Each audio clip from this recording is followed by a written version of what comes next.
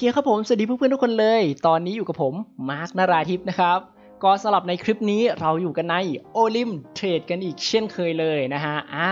ก็สำหรับในคลิปนี้นะครับผมก็จะมาสอนเพื่อนๆทำกำไรจาก Olymp Trade นี้ด้วยเทคนิคที่มีชื่อว่า Stochastic กันนะครับ ซึ่งสำหรับในวันนี้เองนะครับ นอกจากผมจะมาสอนนะครับ ผมก็ยังจะมาเทรดให้เพื่อนๆดูกันอีกเช่นเคยเลยนะครับ ซึ่งเป้าหมายของผมนะครับก็เหมือนเดิมเลยนะครับ ก็คือจะมาเทรดทั้งหมด 3 ไม้ไม้ละ 100 เหรียญนั่นเองนะครับ นี่เลยนะครับก็คือเป้าหมายของผมในคลิปนี้นั่นเองนะครับ ก็จะมาสอนเพื่อนๆแล้วก็จะมาเทรดให้เพื่อนๆดูด้วยนั่นเองนะครับ โอเคครับผมก็เพื่อไม่เป็นการเสียเวลานะฮะ ถ้าเกิดว่าเพื่อนๆพร้อมจะรับชมคลิปนี้กันแล้วนะฮะ ก่อนอื่นฝากเพื่อนๆทุกคนกดไลค์คลิปนี้คนละ1ไลค์ก่อนเลยนะครับ แล้วก็อย่าลืมกด Subscribe ด้วยนะฮะ แล้วก็อย่าลืมกดกระดิ่งเพื่อรับแจ้งเตือน เวลาผมอัพคลิปใหม่ๆด้วยนั่นเองนะครับ กดเลยนะครับ กดเลย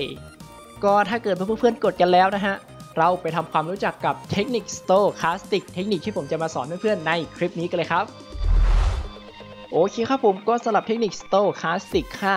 533 นะครับ ก่อนอื่นเลยนะฮะเมื่อเพื่อนๆเข้ามาที่หน้าแพลตฟอร์มของ o l y m p a d นะครับสำหรับเพื่อนๆคนไหนที่เข้ามาครั้งแรกนะฮะอาจจะเห็นกราฟเนี่ยเป็นแผนภูมิสีฟ้าๆแบบนี้นะครับก็ให้เพื่อนๆนะครับทำการเปลี่ยนก่อนเลยนะครับโดยการกดที่เมนูรูปกราฟนะครับที่อยู่มุมซ้ายล่างตรงนี้นั่นเองนะครับแล้วก็เลือกเป็นแท่งเทียนญี่ปุ่นนะฮะอ่าแล้วเพื่อนๆก็จะได้กราฟที่มีลักษณะเป็นแท่งเทียนญี่ปุ่นแบบนี้มาแล้วนั่นเองนะครับต่อไปเมื่อเราตั้งค่ากราฟเรียบร้อยแล้วนะฮะก็ให้เราทำการ setting เทคนิค stochastic ได้เลยนะครับโดยการมาที่เมนูรูปวงเวียนนะครับหรือว่าเมนูที่ชื่อว่าตัวบ่งชี้นะครับถ้าเป็นภาษาอังกฤษก็คือ indicator นั่นเองนะครับอะก็กดเข้าไปได้เลยนะครับเมื่อเราทำการกดเข้ามาแล้วนะฮะก็ให้เราทำการเลื่อนลงไปนะครับเราจะเจอกับเทคนิคที่ชื่อว่า stochastic อยู่ตรงนี้นั่นเองนะครับอะก็กดใช้งานมาได้เลยนะครับ เมื่อเรากดใช้งานมาแล้วนะฮะเราก็จะได้กราฟโผล่ขึ้นมาอีกหนึ่งกราฟอยู่ด้านล่างตรงนี้นั่นเองนะครับ ซึ่งกราฟตรงนี้นะฮะก็คือกราฟของเทคนิค stochastic นั่นเองนะครับอะเมื่อเราได้กราฟของเทคนิค stochastic มาเป็นที่เรียบร้อยแล้วนะฮะก็ให้เราทำการกดที่ตั้งค่านะครับที่อยู่มุมขวาบนตรงนี้นะครับที่เป็นรูปดินสอนะฮะกดไปได้เลยนะครับ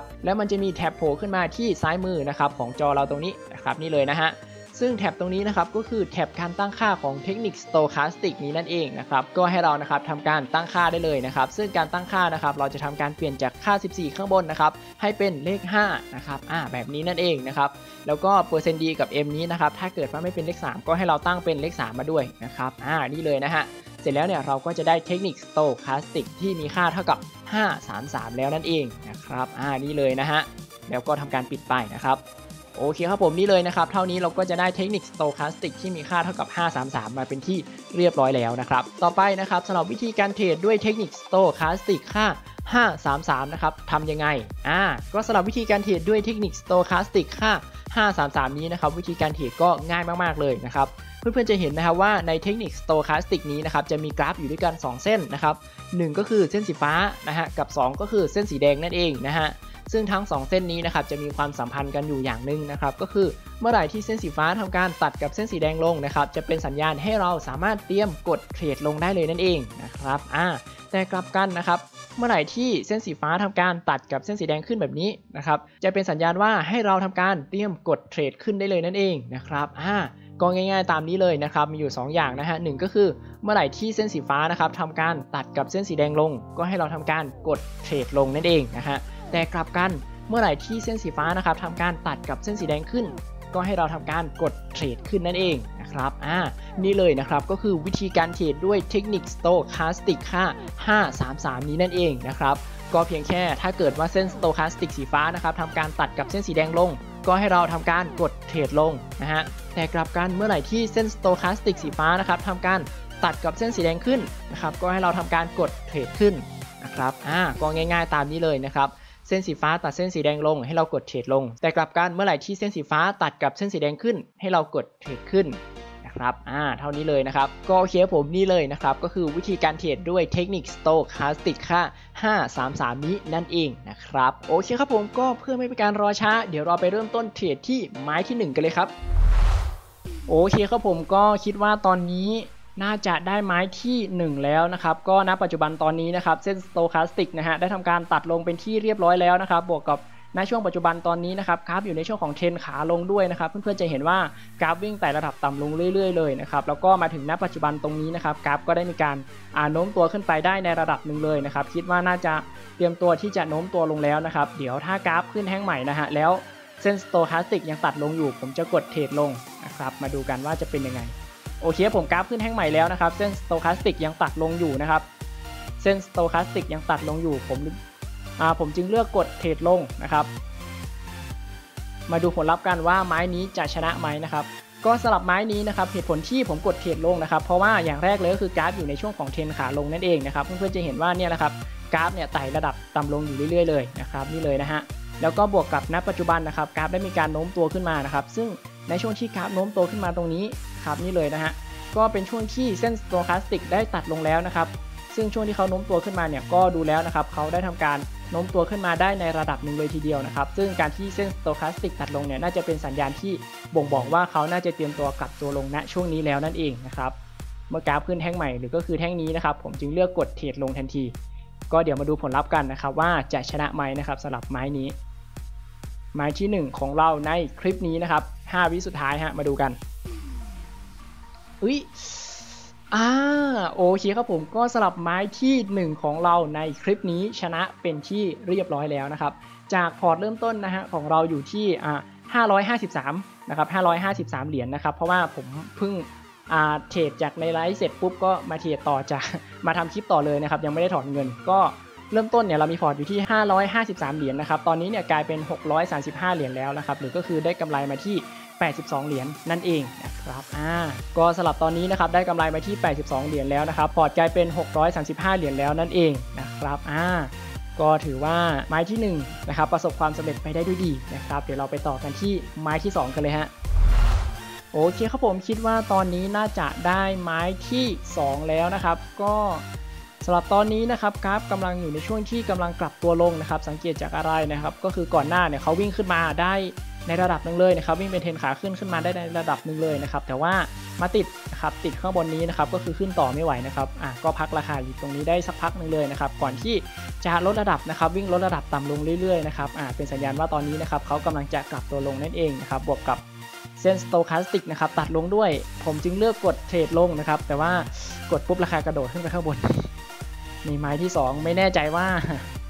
จะชนะไหม ก็เดี๋ยวมารอดูกันครับเดี๋ยวมารอเดี๋ยวมารอดูกัน ก็สำหรับไม้ที่2นะครับเหตุผลที่ผมกดเทรดลงนะครับเพราะว่าช่วงนี้เนี่ยอยู่ในช่วงของการกลับตัวนะครับของกราฟที่ก่อนหน้านี้เนี่ยเขาาวิ่งขึ้นมาเป็นเทนขาขึ้นนะครับแล้วก็ได้ทำการกลับตัวลงนั่นเองนะครับแล้วก็บวกกับณปัจจุบันนะครับกราฟอยู่ในแนวโน้มที่จะโน้มตัวลงด้วยนั่นเองนะครับสังเกตจากอะไรนะฮะก็คือสังเกตจากการวิ่งของกราฟนะครับที่ก่อนหน้านี้นะครับเขาได้ทำการาวิ่งลงมานะครับวิ่งไต่ระดับลงมาเรื่อยๆเลยนะครับหลังจากนั้นก็ได้กลับตัวขึ้นไปนะครับซึ่ง แน่นอนครับการกลับตัวขึ้นมาเนี่ยเขากลับตัวขึ้นมาตรงนี้ได้พักหนึ่งเลยนะครับก่อนที่จะเลี้ยงราคาตรงนี้แป๊บหนึ่งแล้วเส้น Stochastic ก็มาตัดลงนะครับเป็นสัญญาณว่าณตอนนี้เนี่ยกราฟกำลังมีโอกาสจะวิ่งลงนะแปลว่าตรงนี้เนี่ยกราฟกำลังจะโน้มตัวลงนะครับซึ่งการที่เส้น Stochastic ตัดลงตรงนี้เนี่ยเป็นการ confirm ที่ค่อนข้างดีมากนะครับผมจึงเลือกกด trade ลงนั่นเอง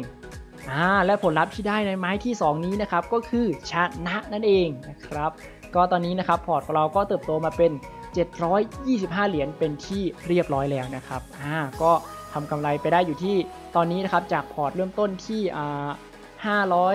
535 เหรียญนะครับก็กลายเป็น 725 เหรียญแล้วนะครับ ก็ได้กำไรอยู่ที่ 500อ่า725 นะครับลบกับ 553 ท่ากับตอนนี้ได้กำไรอยู่ที่ 172 เหรียญแล้วนั่นเองนะครับนี่เลยนะฮะก็คือกำไรที่ผมทำได้จากการเฉดชนะมา 2 ไม้ติดนี้แล้วนั่นเองนะครับต่อไปเดี๋ยวไปต่อกันที่ไม้ที่ 3 กันเลยนะฮะแล้วเดี๋ยวมาดูกันว่าไม้ที่ 3 ผลลัพธ์ที่ได้ออกมาจะเป็นยังไงนะครับประวัติศาสตร์จะซ้ำรอยเหมือนเมื่อวานนะครับที่แพ้ไปหรือว่าวันนี้จะสร้างประวัติศาสตร์ใหม่ก็คือชนะอะเดี๋ยวมารอดูกันนะครับโอเคครับผมเดี๋ยวเราไปต่อกันที่ไม้ที่ 3 กันเลยครับ โอเคครับผมคิดว่าน่าจะได้ไม้ที่ 3 ไม้สุดท้ายของเราในคลิปนี้กันแล้วฮะ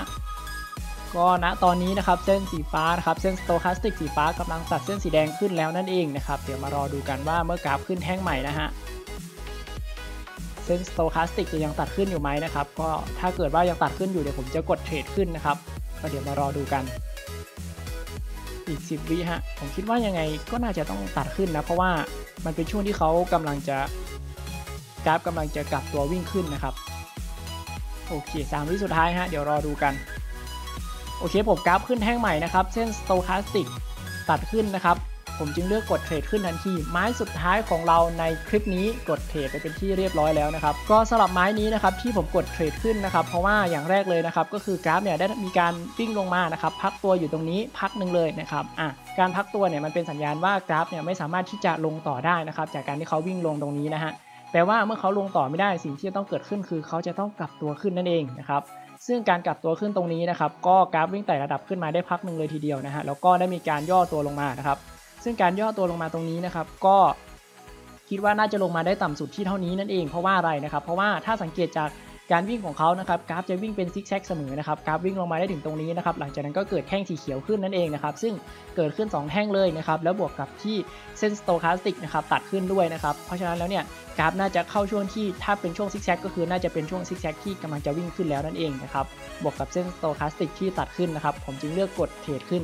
และผลลัพธ์ที่ได้มาก็คือชนะนั่นเองนะครับโอเคครับผมก็จบไปแล้วนะครับสำหรับการเทรดทั้งหมด 3 ไม้นะฮะวันนี้สร้างประวัติศาสตร์ใหม่นะครับเมื่อวานเนี่ยผมเทรด3ไม้ใช่ไหมฮะเทรดไปชนะอยู่ 2 ไม้ แล้วไปแพ้ไม้ที่ 3 นะครับ แต่วันนี้ผมเทรดชนะ 3 ไม้ติดเลยนะครับ แล้วทำกำไรไปได้อยู่ที่ ตอนนี้เนี่ยจากพอร์ต 553 เหรียญนะครับ กลายมาเป็น 805 เหรียญแล้วนั่นเองนะครับหรือว่าทำกำไรมาได้อยู่ที่ 553 นะครับ ไม่ใช่ต้องเป็น 800 นะครับ 805 เหรียญลบกับ 553 นะครับ จะเป็นกำไรอยู่ที่ 252 เหรียญหรือว่า 252 ดอลลาร์นั่นเองนะครับ หรือคิดเป็นเงินไทยนะครับคูณ 30เท่ากันนะครับอะโอเคครับผมนี่เลยนะครับก็คือกำไรที่ผมทำได้จากโอลิมเทดในวันนี้นะครับตีเป็นตัวเลขกลมๆนะครับก็คือ 7,500 บาทนั่นเองนะครับโดยใช้เวลาไปทั้งหมดอยู่ที่ นี่เลยนะครับผมอัดคลิปมาอยู่ 1 ชั่วโมงครึ่งแล้วนั่นเองนะครับของการเทรดนะฮะ ผมใช้เวลาไปอยู่ที่ 1 ชั่วโมงครึ่งนะครับในการทำกำไรมาที่ 252 ดอลลาร์นะครับหรือคิดเป็นเงินไทยอยู่ที่ 7,500 บาทเลยนั่นเองนะครับนี่เลยนะครับก็คือกำไรที่ผมทำได้จาก Olymp Trade ในวันนี้นะครับ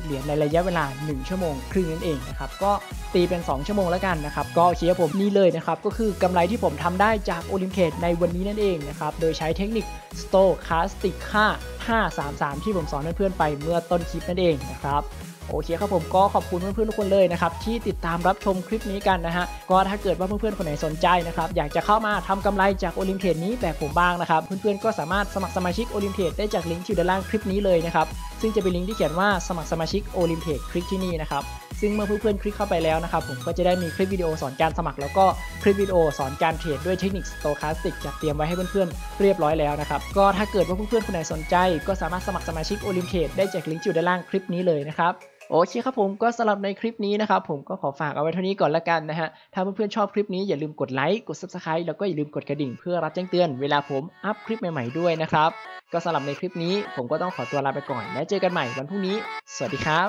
Yeah, yeah, let's go.